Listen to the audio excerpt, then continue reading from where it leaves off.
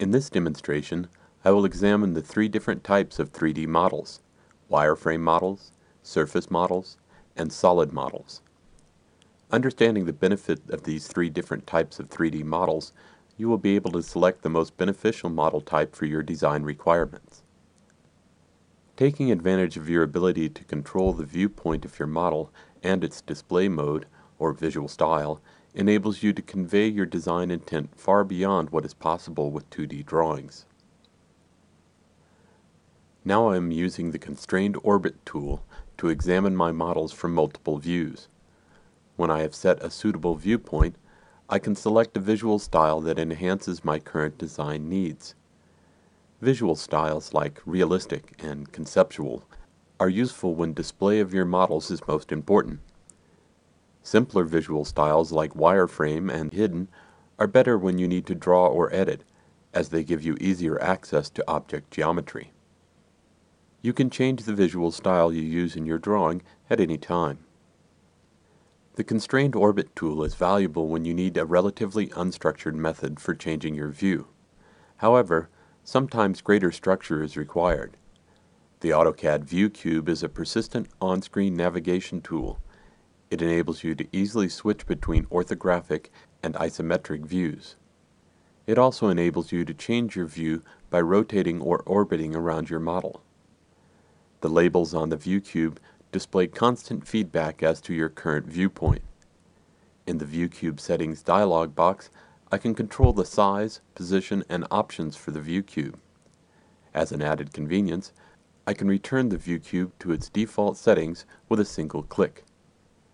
These settings are a matter of personal preference and do not affect the operation of the view cube. Clicking a corner of the view cube causes your model to display in an isometric view. Examining the cube faces and underlying compass, I can see this is the southeast isometric view. I want to be able to return to this view easily throughout my drawing session, so I will save this view as my home view. Clicking on a face of the view cube displays the orthographic view indicated on the face. The arrows above and to the right of the view cube enable you to rotate the existing view. Lateral orthographic views can also be displayed using the directional letters on the compass, displayed beneath the view cube. When you cannot see the face or compass letter you need, you can click the arrows at the edges of the cube to rotate your view in 90 degree increments. For a 45 degree rotation, you can click an edge of the cube. It is possible to become confused or turned upside down when using the view cube. You can click the home icon at any time to return to the home view you selected earlier and reorient yourself. To make a more subtle rotation to your view, you can click and drag the compass letters or the cube itself. This takes a little practice to become comfortable with, but enables you to view your model from directions unattainable using the View Cube's automatic view options.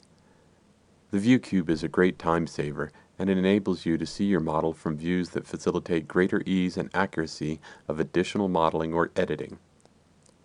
It is a tool that is well worth the time to become familiar with and will definitely improve your efficiency as you navigate your 3D models.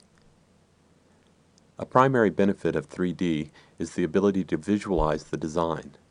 However, as well as seeing the design better, you can extract measurements like distance, area, volume, and other mass properties from your design. With solid models, you can also check to see if other solid models or components interfere with each other.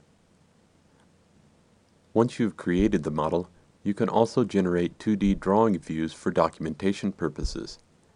As you can see, a firm grounding in 3D modeling is essential in order to take full advantage of AutoCAD's design and display capabilities.